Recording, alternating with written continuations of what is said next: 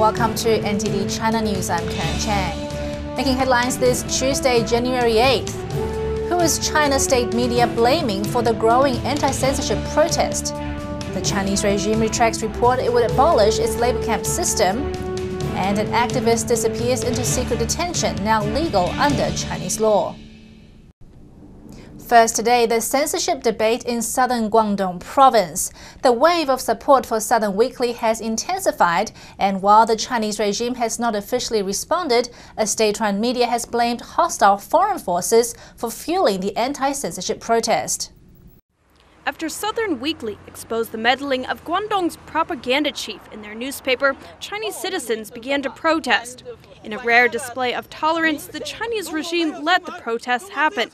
Now, however, it appears they are starting to clamp down.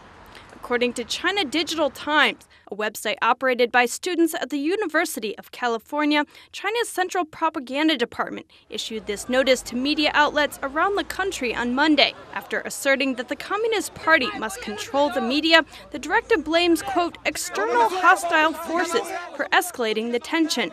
The directive then orders media outlets to repost this editorial by state run Global Times. The article claims free media cannot exist under China's current political climate and again points to overseas forces for fanning the protest. The piece has been derided online. Some news portals did repost it, but with a clear disclaimer that the views are not their own. Outside the headquarters of the Southern Media Group on Tuesday, supporters have continued to gather for a second day. This man in a wheelchair holds a sign that reads, Support Southern Weekly, no more censorship. Give me back my freedom of speech. A minor scuffle broke out between these demonstrators and this smaller group.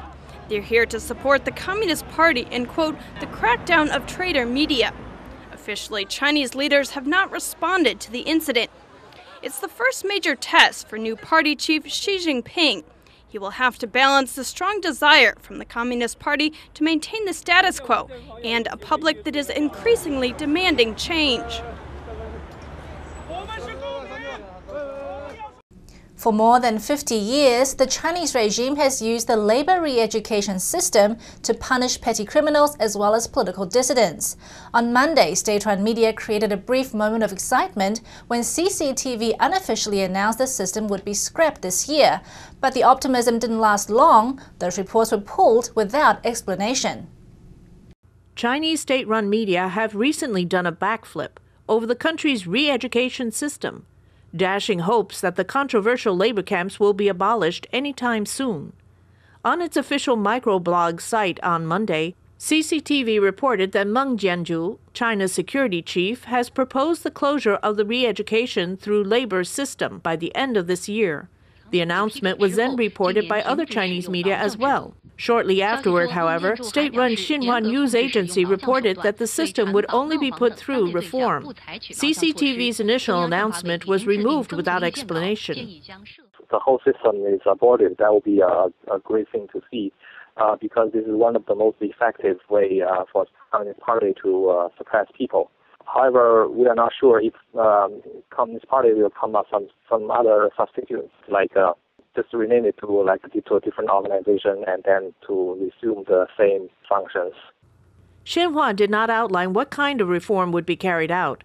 The article only mentioned some of the shortcomings of the labor camp system, like the arbitrary powers used to force people into the system.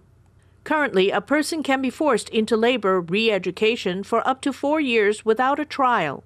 Accounts of torture and abuse are also common from Chinese forced labor camps. Increased awareness has led to mounting calls for the Chinese regime to abolish the system altogether. The Chinese regime created the labor camp system in the 1950s. Xinhua reports the country currently has 350 labor camps, holding around 160,000 inmates. Human rights groups, however, estimate the number to be anywhere from at least 200,000 people to as many as 2 million. Proposals to reform the system will be considered by the National People's Congress in March. The Congress is the Chinese regime's parliament, widely considered a rubber stamp Congress. A Chinese activist has disappeared into secret detention, which is now legal under newly reformed laws. Zhu Chengzhi has been in prison since August, accused of state subversion.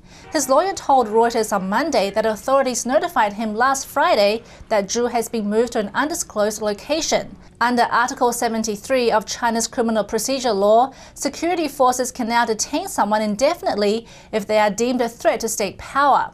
The family must be notified within 24 hours of the detention, but not told the location. Zhu's wife said on Monday that authorities told her he was being moved to a hotel, but did not know where. Zhu Chengzhi took photos after his friend Li Wangyang supposedly hanged himself in his hospital room last June. Li was a political prisoner from the 1989 Tiananmen Square protests. Authorities claimed he committed suicide, but many believed otherwise. Zhu circulated the photos online, calling for an investigation into Li's death. Zhu's lawyer now says he would continue to press for his whereabouts in order to discuss his defense. From Monday to Tuesday, four Chinese ships spent 13 hours in waters near the disputed Diaoyu or Senkaku Islands. Today, the Japanese deputy foreign minister summoned the Chinese ambassador to Japan to file a complaint. He said it was a clear violation of Japanese territorial rights and demanded not to happen again. In response, Cheng Yonghua said he would pass on the message, but in Chinese state media, the message was more defiant. Foreign Ministry spokesman Hong Lei denied Tuesday that China was being provocative. He said the islands belong to China and that the Chinese government had launched a complaint back.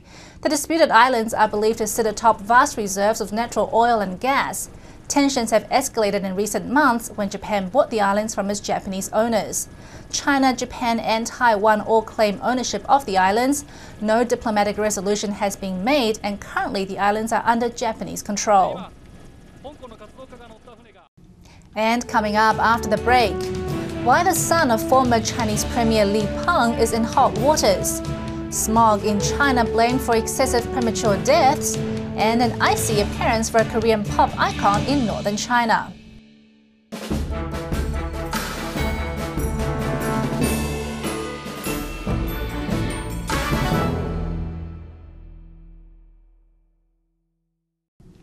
And welcome back.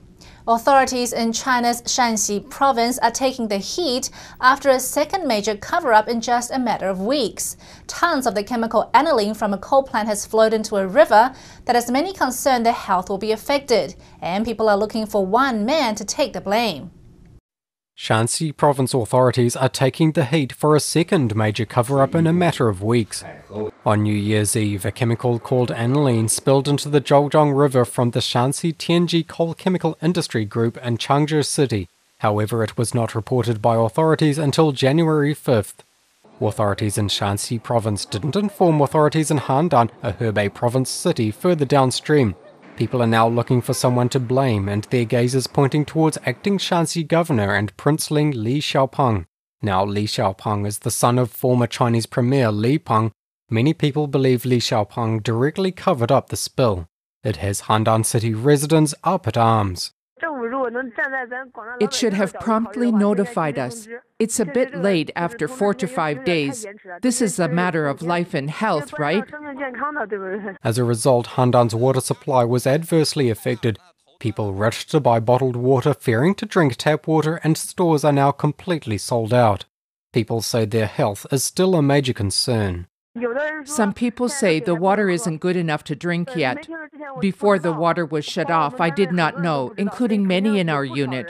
I am sure many drank the contaminated water during those days. Do you worry about your own health now? Yes, I do. I do not know the specifics, but I am certain something chronic, like slow poisoning, is taking place in my body. I would like to go to the hospital for a checkup. Changzhi City News Office Director Wang Yiping said, quote, If the pollution is not beyond the Changzhi border, it does not need to be reported to the provincial office. We can take care of it ourselves. However, villagers say no one informed them of the leakage. They only saw a written notice saying people and animals are prohibited from drinking river waste water on January 5th. Li Xiaopeng is also taking the heat for allegedly covering up an explosion in a tunnel in Linfen that killed at least eight workers. Authorities only confirmed that incident after repeated calls for information on the internet. Air pollution killed more than 8,500 people across four Chinese cities in 2012, according to a joint study by Peking University and Greenpeace. Air pollution was also responsible for $1.08 billion in economic losses. The report, published on December 18th, studied the effects of PM2.5 air pollution in Beijing, Shanghai, Guangzhou, and Xi'an. These are the four major cities in China's north, east, south, and western regions. The research concludes that if these cities lower their PM 2.5 pollution levels to meet guidelines issued by the World Health Organization, such deaths would be reduced by at least 81%. Economic losses could be reduced by more than $850 million. PM 2.5 refers to particulate matter smaller than 2.5 micrometers in diameter. When inhaled, these particles can enter the bloodstream, leading to heart, brain, and lung disease, including cancer.